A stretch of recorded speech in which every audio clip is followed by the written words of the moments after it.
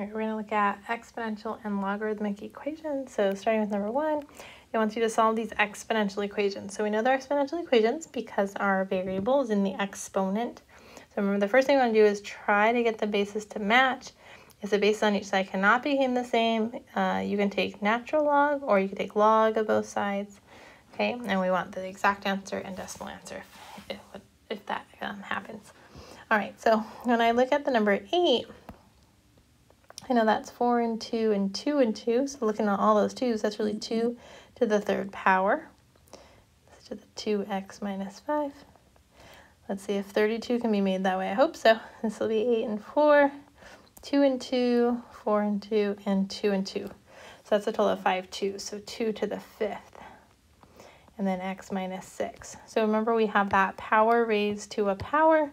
We said that we would um, actually multiply our exponents together. So this will be 2 to the 6x minus 15, that's what's distributing, is equal to 2 to the 5x minus 30. And now that the bases match each other, because exponential functions are one to one, we know that if those outputs are equal, then these inputs were equal that is 6x minus 15 has to equal 5x minus 30. So we started out with an exponential equation, and now we're looking at really just a linear equation. Let's try and put all of our x's on one side. I'm going to move over my x, that negative 5x over.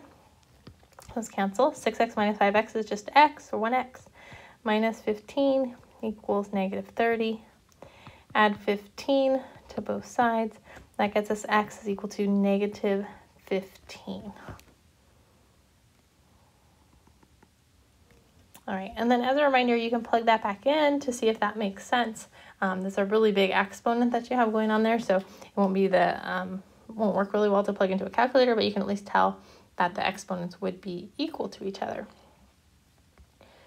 All right, so this next one, the bases don't match at all. That's a 3 and a 5. So I'm going to use natural log and so again, natural log of both sides, because what we mean is that if these quantities are equal, the natural log of those quantities also has to be equal. But the reason why we want to involve log um, is because of that property log that allows us to take the power on our argument to the front. And so we're going to do that actually, do it for both sides. So this will be 6x plus 5 times that natural log of 3 equals, put that 2x in the front, natural log of 5. So even though it's not that pretty, just a reminder, natural log of 3 is a number, natural log of 5 is a number. So on the previous problem, we tried to get our x's alone. We're going to do that also here because we have x's on both sides. But right before that, I'm going to distribute the natural log in here. Again, it's like a number. We're going to have natural log of 3 times 6x plus natural log of 3 times 5. I can write the 5 in the front. Looks a little nicer. Equals 2x natural log of 5. So then I want my x's on one side. So I'm going to move this guy over. So I'm going to minus it. Natural log of 3 times 6x. Now actually that's starting to look a little confusing. I should have put the 6x in the front. I'm going to go back and write that in the front because otherwise you can't tell what you're taking natural log of. If I put the 6x in the front, you can see that a lot clearer.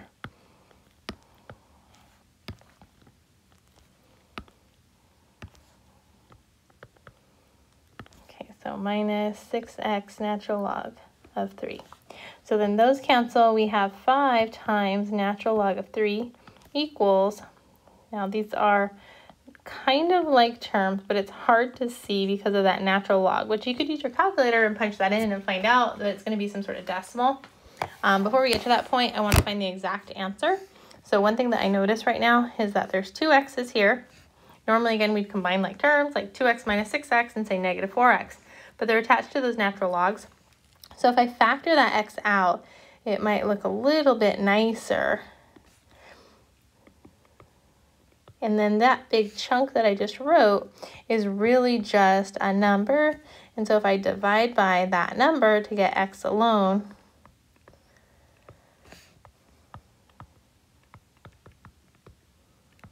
those cancel, and so we have what x is equal to. This is called the exact value. Let me write my minus a little bit nicer here. So this is the exact value. If you punch it in on your calculator, um, you would want to make sure you put the um, bottom in like a parenthesis. Um, so on a calculator, I would write, um, let's see, 5 times natural log of 3 5 times natural log of 3, which looks like it's coming out to be about 5.49. But then I would divide by 2, again in parentheses, 2 times natural log of 5 minus 6 times natural log of 3. So this is going to be divided by parentheses 2 times natural log of 5 and often it will automatically put a parenthesis um, after the art or after the natural log. So make sure you close that off so then it knows it's starting a new thing. So 6 times natural log of 3, close that parenthesis. So open one, closed one, and then make sure you put that final closing one on there and then hit equal. So it looks like once you divide by that like chunk of stuff there, all in a parenthesis, that is going to be about negative 1.6 3. So I would want to check that. So checking it just means go back to your very original equation and see if that makes sense. So it'll be 3 to the 6 times negative 1.6. Let's keep it like that. Plus 5 should equal, we hope, 5 to the 2 times negative 1.6. So They should be really close. So using my calculator here, 6 times negative 1.6 negative 9.6 plus 5. This is 3 to the negative 4.6. And then on the right side, we're looking at 5 to the 2 times negative 1.6. It's 5 to the negative 3.2. So 3 to the negative 4.6 power this right here is 0 0.00638. And then 5 to the negative 3.2 power is 0 0.0058. So almost 0.006. So they're really close to each other. So that's a pretty good check for me because I had simplified that or already kind of um, estimated that negative 1.63. Okay, so this would be my estimated value compared to the exact value, which kept it with all those natural logs. And then just one little reminder, if you are using a calculator to do the exponent, um, sometimes that will look like a y to the x to get an exponent. Um, and then sometimes you just use a little caret button. So both of those help you take something to a power if you're on your calculator. All right, let's solve these log equations. so remember we had like that type 1 and type 2. So we're trying to get the logs alone onto one side or make them, um, make it so we just have one log equal to another log. So looking at number 2 here, because the 20 and 24 don't have log on them, we know this is the type where we're going to want to convert it to that exponential form. So I want to isolate log. So this is going to be, let's minus 20 from both sides. That's going to be 2 log 8 of 3y minus 5 equals 4. Divide by 2 on both sides to get that 2 gone. That's log base 8 of 3y minus 5 is equal to 2. So as soon as you have a single log, like there can't be anything in the front here, just a single log equal to a number. Remember the meaning of log is our base is 8, and we're asking what's the power that would get us that 3y minus 5, and so we have a 2 written there. So this is really saying 64 is equal to 3y minus 5. So we'll add 5 to both sides. We'll get 69 is equal to 3y, divide by 3, and that gets us y is equal to 23.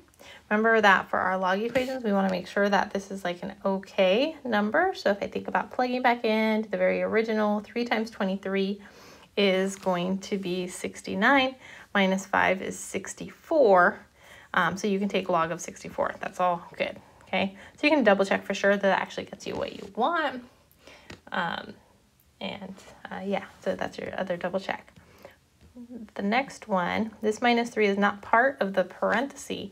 So again, we want to um, get the logs all on one side. So I'm going to plus that over um, just because I don't like all that negativity. And I'm also going to plus this log base 2 of w plus 2 over, so that way the logs can be together. So the minus 3 plus 3 cancels. On the left, I have log base 2 of w plus log base 2 of w plus 2. Those had canceled, so this is equal to 3. So our product property says I can combine those to a single log. It'll be log base 2 of w times w plus 2 is equal to 3. So using the exponential, like what it means to be a log, it's the exponential form. We're going to say our base is 2, the exponent is 3, and this is equal to w times w plus 2. So 8 is equal to, multiplying that, w squared plus 2w. Now we turn that log equation into this quadratic. So we want to make it equal 0, so I'm going to minus the 8. And you could try factoring or use quadratic formula, whatever you'd like. I'm going to factor this. I think it will work. WW, 4 times 2 is 8, but we need negative 8 and add to a positive 2. That's a plus 4 minus 2. So our zeros will be uh, negative 4 and positive 2. So again, when we think back to our original equation, going back, choo -choo, log base 2 of negative 4 can't work. It's not going to work. That is extraneous. Um, the 2 will work fine there, and then also check it in the other one, and that will also be okay. So again, you could verify it completely, but the big thing you want to do is make sure that you're not taking log of a negative number. All right, flipping, flipping over to the next page here. Um, now this, I see log on everything. The one half looks kind of weird hanging out here, so I'm going to bring that as a power using that power rule. So um, in two steps, combining these, because it's subtraction of two logs, into a single log, but as a quotient, that'll be x over 2x plus 6 is equal to and then taking that half as a power. And then right away I see 4 to the 1 half power. Well, that's the square root of 4. So that's the square root of 4, which is 2. So this is log base 3 of 2 equals log base 3 of x over 2x plus 6. Since you have two logs equal to each other, we know the inputs must be equal. So we're going to write x over 2x plus 6 is equal to 2. Clear the fractions by multiplying by that 2x plus 6 on both sides. Those cancel. We get x is equal to, well, let's distribute because we're multiplying times that whole quantity. It'll be 4x plus 12. We'll put all our x's on one side, so move those over. We're going to get negative 3x is equal to 12. Divide by negative 3 we get x is equal to negative 4.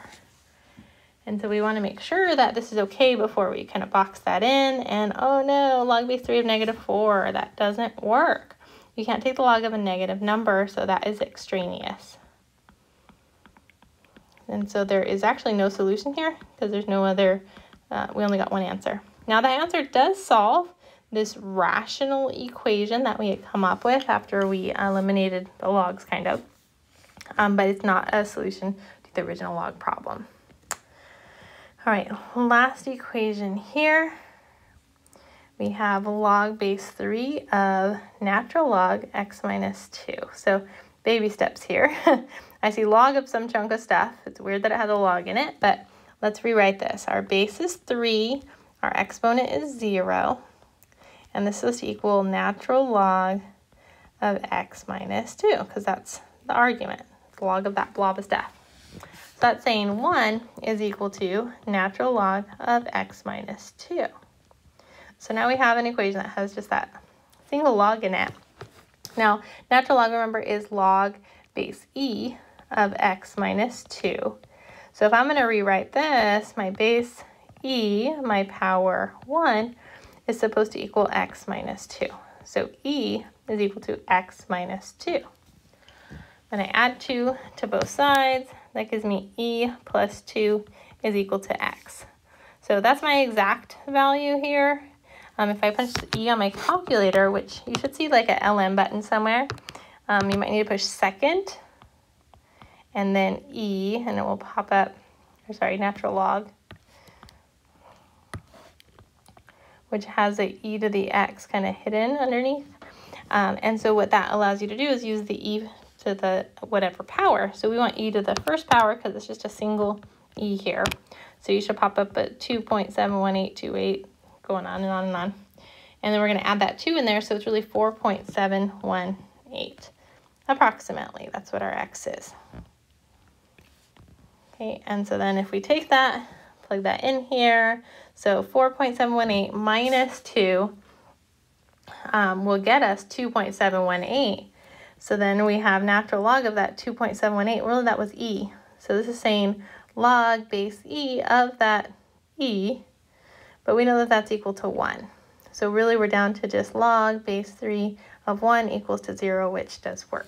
So that's kind of our weird check on that. All right, for number 4, um, it wants you to kind of think about an investment problem. Um, there is a formula for compounding continuously, and I'm going to write that down here. The amount of money that you um, could make on some amount so this is your principal uh, times E, that's the number E, to the RT, where R is your annual interest rate and T is the time in years. So if we want the amount of money here to triple, we know that our principal, our starting amount is $3,000. We want it to be $9,000. And this is e to the, our interest rate is 0.065 because that's what 6.5% means, uh, times, and then we don't know the amount in years, so I'm going to keep that as t. So if I wanted to solve this exponential equation, um, I want my exponential part alone. So first thing I want to do is divide by 3,000 on both sides. So that will be 3 is equal to e to the 0.065t. Now, this is like 3 to the 1. There's no way to make those powers match. We know e is close to 3, so um, we can kind of think about that. Um, but I want to use natural log. So I'm going to write natural log of that number 3 has to equal natural log of that e to the 0.065t. And the reason why I'm using that natural log is because um, that has a base of e. So really these two things will undo each other and I'm left with just 0.065t. Again, they're inverses, so they undo each other. And I have natural log of 3 here. Divide by 0.065, divide by 0.065.